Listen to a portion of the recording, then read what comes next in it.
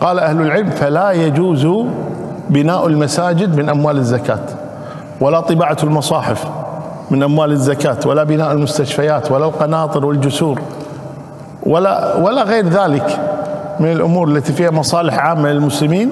هذه تؤخذ من الصدقات العامة ولا تؤخذ من الزكاة مدرسة كذا كل هذا لا يجوز يعني أخذها من الزكاة.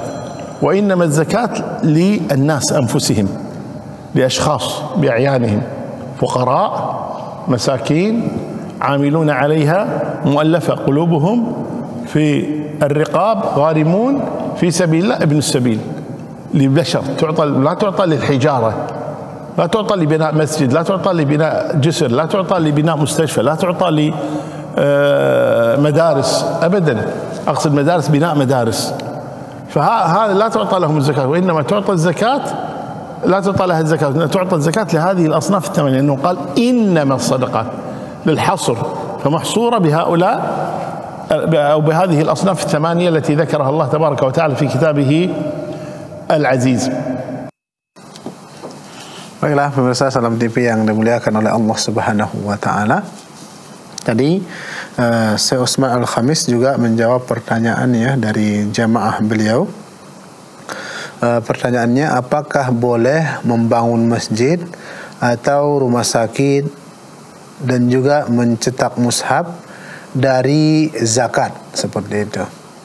Maka beliau menjawab fala yajuz ya, maka tidak boleh kita membangun masjid atau rumah sakit, mencetak Al-Qur'an ya dan juga membangun uh, jembatan-jembatan, sekolah-sekolah dan selainnya dari harta zakat. Ya.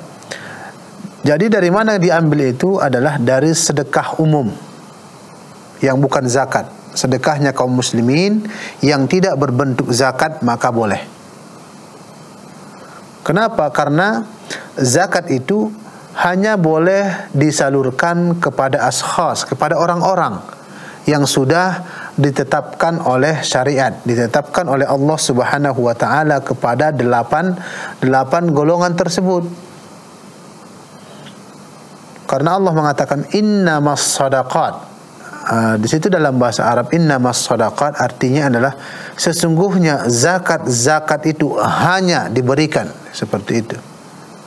Ya, dalam istilah bahasa Arab disebut dengan al-hasru. Al-hasru itu berarti hanya boleh disalurkan kepada yang delapan golongan. Karena sedekah maknanya di sini adalah zakat, bukan sedekah umum. Adapun sedekah umum kaum muslimin, pokoknya dia bersedekah, terserah mau bangun masjid atau bangun rumah sakit dan sebagainya itu boleh.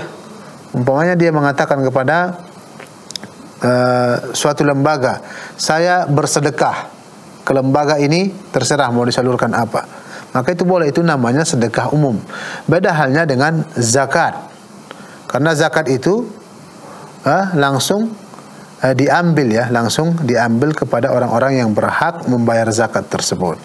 Dan Allah mengatakan tadi innamas shadaqat. Sesungguhnya sedekah zakat itu hanya boleh disalurkan kepada yang delapan golongan. Siapa saja itu? Fuqara. Yaitu orang-orang yang fakir. Orang-orang yang fakir ini memang diperselisihkan para ulama apa yang dimaksud dengan fakir.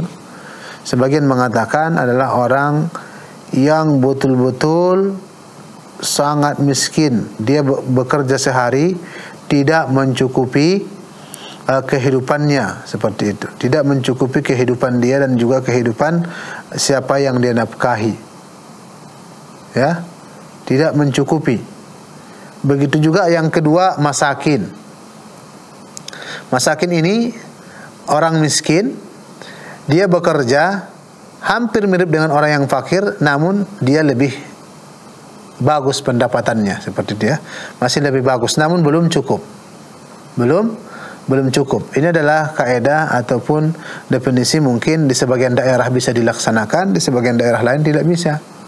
Seperti itu. Seperti mungkin daerah-daerah yang kaya raya tidak ada orang seperti ini, maka sulit bagi mereka untuk uh, bersedekah atau bayar zakat ya. Jadi intinya siapa yang dianggap ya, dianggap oleh suatu uh, pemerintahan setempat dia miskin maka boleh kita memberikan kepada dia zakat tersebut. Uh, dan setiap uh, daerah masing-masing tentunya berbeda ya. Jika ada satu daerah tersebut semuanya sudah punya mobil, rumah umpamanya, maka dilihatlah orang yang paling miskin, kebiasaan orang di situ bagaimana? Mungkin yang hanya punya satu kendaraan. Karena semua orang punya kendaraan 10, 20 umpamanya.